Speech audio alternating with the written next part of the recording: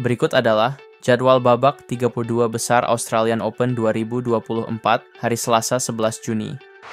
Pertandingan Australian Open hari Selasa akan dimulai pada pukul 6 waktu Indonesia Barat yang dibuka oleh pertandingan babak kualifikasi tunggal putra yang mempertemukan Linden Wang dari Amerika melawan pemain Australia Nathan Tang.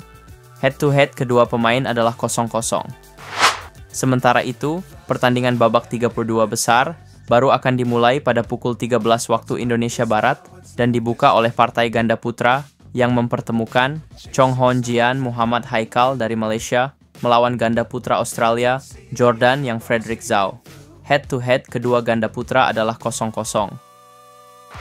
Di babak 32 besar ganda putra, wakil Indonesia Muhammad Ahsan Hendra Setiawan akan melawan wakil Australia, Lucas Ricky Tang. Pertandingan Ahsan Hendra merupakan match ke-11 di court 1 dan dimulai sekitar pukul 15.30 waktu Indonesia Barat. Head-to-head kedua ganda putra adalah 0-0. Di sisi lain, pertandingan babak 32 besar tunggal putra, tunggal putri, dan ganda campuran baru akan dimainkan pada hari Rabu, 12 Juni. Di babak 32 besar tunggal putra, Alwi Farhan akan melawan Mithun Manjunath dan Chico Aura Dwi Wardoyo akan melawan pemenang babak kualifikasi C4.